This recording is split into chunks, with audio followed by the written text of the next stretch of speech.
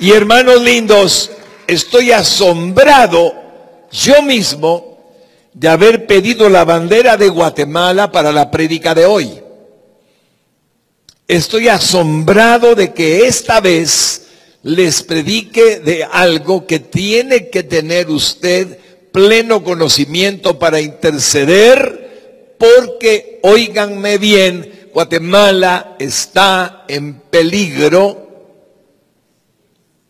como nación. Un Estado fallido o casi fallido. Un Estado calamitoso. La red hospitalaria es un desastre. La gente muere por falta de medicamentos. Somos el primer país en Centroamérica en desnutrición infantil. Somos un país con problemas serios en las redes viales. Somos un país harto de corrupción desde el más humilde empleado hasta el más alto de los empleados del gobierno.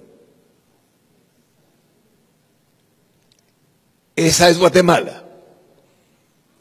Y si no hay un cambio sobrenatural, que un hombre con un equipo puede ejecutar, guiados por Dios, el desastre está a la vuelta. Dios me habló muy claramente a mi corazón. Si la iglesia lo entiende, van a orar. Si la iglesia lo entiende, van a apoyar, intercediendo, clamando y gimiendo pero si la iglesia no lo entiende, nunca hemos visto lo que vendrá.